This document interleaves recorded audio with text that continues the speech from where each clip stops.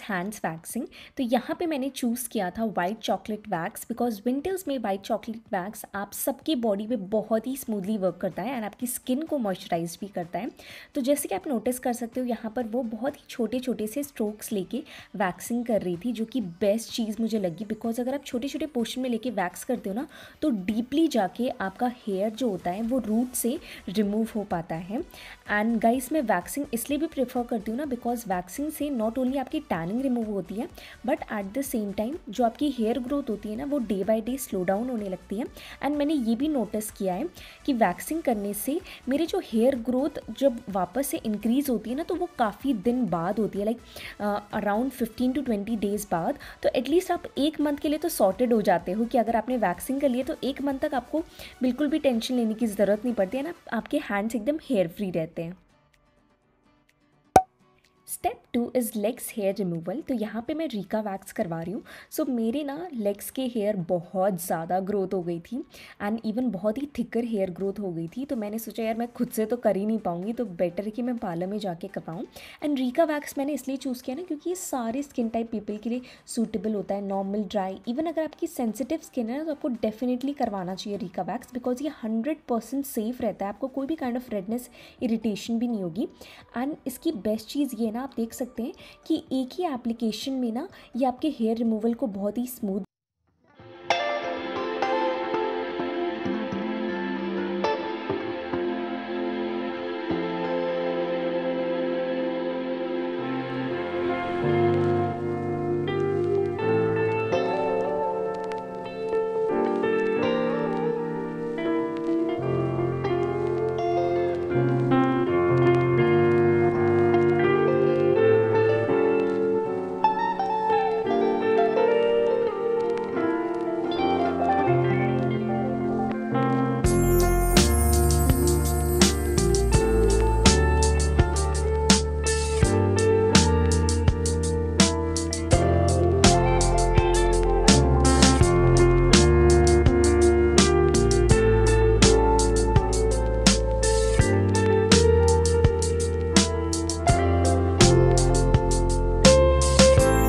Waxing से आपके under arms lighten up भी होते हैं।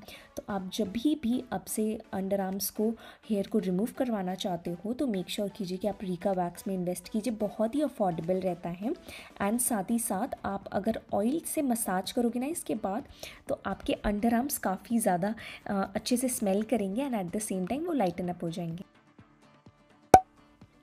Step four is de tan pack तो हाय गाइस मैं इस पोजीशन में लेट चुकी हूँ एंड यहाँ पर मेरा रेडी हो रहा था डी टैन पैक तो ये काइंड ऑफ़ ना ब्लीच की तरह प्रिपेयर होता है बट ये होता डी टैन पैक ही है. सो so, मैं कोई भी क्लीन अप एंड फेशियल नहीं करवा रही थी बिकॉज़ मेरी स्किन अभी ऑलरेडी बहुत सेंसिटिव मोड में चल रही है. सो so, ये डी टैन पैक में सिर्फ़ एक ही स्टेप रहता है जो कि बेस्ट रहता है. एंड ये ना आपकी every kind of tanning pigmentation blemishes होता है ना सब कुछ रिमूव करके आपकी स्किन में एक इंस्टेंट सा ग्लो एंड ब्राइटनिंग इफ़ेक्ट लेके आता है. तो अगर आप शादी में जाना चाहते हो, कोई भी इवेंट अटेंड करना चाहते हो ना तो one two two days before आप ये चीज़ करवा लीजिए एंड ट्रस्ट मी इसके रिजल्ट्स मुझे बहुत ही ज़्यादा ट्रिमेंडसली अमेजिंग मिले थे। वन यूज़ में ही मुझे इतना ज़्यादा इफ़ेक्ट मिला था तो आई विल हाईली सजेस्ट कि आप डी टैन पैक तो डेफिनेटली एक बार करवाइए करवाइए। Step five is hair colour तो जैसे कि आप लोग जानते हो कि मैं मेहंदी यूज़ करती हूँ तो सबसे पहले यहाँ पे मैं मेहंदी यूज़ कर रही हूँ हाफ़ पैकेट आप अपने हेयर लेंथ के अकॉर्डिंग ले सकते हो. Two tablespoon bhringraj powder two tablespoon indigo powder लूँगी थोड़ा सा कॉफ़ी ऐड करूँगी and little bit lemon juice and last में थोड़ा सा वाटर ऐड करके मैं एक थिक कंसिस्टेंसी का मेहंदी पैक प्रिपेयर कर लूँगी इसे आपको ओवरनाइट छोड़ देना है. एंड नेक्स्ट मॉर्निंग मैं सबसे पहले दुपट्टे से खुद को कवर कर लूँगी एंड आफ्टर दैट इसका एप्लीकेशन आपको स्टार्ट कर देना है। सो so, मेहंदी का कलर मुझे इतना ज़्यादा सूट करता है मेरे बालों को। पहली बात ये बहुत ही नेचुरल होती हैं तो आपके बालों को किसी भी तरीके से इफ़ेक्ट नहीं करेंगी। And at the same time जो मेहंदी का कलर आपके बालों में आता है ना नेचुरल सा बर्गेंडी ब्राउनिश काइंड ऑफ़ वो मुझे बहुत ज़्यादा प्यारा लगता है। तो मैं हमेशा आप सबको यही सजेस्ट करती हूँ कि मेहंदी आप डेफिनेटली लगाइए। इवन दो अगर आपके ब्लैक हेयर है ना तो तभी भी आप लगाइए आपको आपको बहुत अच्छे रिजल्ट्स मिलेंगे। एंड अलग सा शाइन आ जाएगी आपके बालों में, आपके बाल बहुत ज़्यादा सॉफ्ट एंड फील करेंगे। मैं मंथ में एक बार तो डेफिनेटली इसे लगा ही लेती हूँ। एंड अगर स्किप हो गया तो ट्वाइस अ मंथ भी आप यूज़ कर सकते हो। It all depends on you इसे अप्लाई करने के दो घंटे तक मैं इसे ऐसे ही छोड़ देती हूँ सो दैट कि मेहंदी का एप्लीकेशन मेरे बालों में बहुत ही अच्छे से पेनिट्रेट हो सके। एंड देन हेयर वॉश करती हूँ मैं पानों से। पे मैं यूज़ करने वाली हूँ आयु का one percent ब्रिंगेशियम shampoo and conditioner best part is ये सारे हेयर टाइप के लिए सूटेबल है and free from paraben and sulphate and hair ब्रिंगेशियम is not certified by any Ayush ministry तो सबसे पहले मैं यहाँ पे वन परसेंट रिंगेशियम शैम्पू यूज़ करने वाली हूँ। मग्गे में मैं अच्छे से पानी में मिक्स करके देन इसे अप्लाई करूँगी अपने स्कैल्प पे। इसमें आयुर्वेदिक इंग्रेडिएंट्स है like bhringraj amla and twenty precious herbs जो कि नरिश करेगी आपके स्कैल्प को एंड कंट्रोल करेगी हेयर थ्रिनिंग एंड ब्रेकेज को। ये extremely light weight creamy texture का है जो कि आपके स्कैल्प को क्लेंस ऑफ़ करेगा without stripping off the natural oil इसमें एंटी फंगल क्लेंजिंग प्रॉपर्टीज़ हैं जो कि एड uh, करेगा shine in to your hair after that मैं वन परसेंट ब्रिंगेशन कंडीशनर यूज़ करने वाली हूँ। अच्छे तरीके से अपने लेंथ से लेकर टिल दी एंड में कंडीशनर अप्लाई करने वाली हूँ। दो तीन मिनट के लिए ऐसे ही छोड़ देना है। इसमें Bhringraj amla and twenty precious herbs है जो आपके बालों को स्मूदर शाइनी एंड हेल्दियर बनाते हैं। भृंगराज बूस्ट करेगी nourishment to your hair follicles जो कि प्रमोट करता है हेयर ग्रोथ में। Amla nourishment soften and resilient lustre add करने वाला है। जपाती is rich in amino acid जो कि ट्रेडिशनली आपके बालों को नरिशमेंट प्रोवाइड करता है। आपके हेयर रूट्स को स्ट्रेंथन करता है। एंड कंडीशनर या हेयर लेंथ एंड आपके बालों को लस्टरस एंड हेल्दी बनाएगा। ये आपके बालों को डी टैंगल करेगा ड्राई एंड डैमेज हेयर को and making them more manageable इतनी ज़्यादा नरिश्ड लग रहे हैं सिल्की हेयर स्मूथ लग रहे हैं। So so if you want to purchase these products links in the description box and you can use my coupon code P S twenty to get twenty percent off on Ayuga website and these products are available on Amazon and Flipkart seven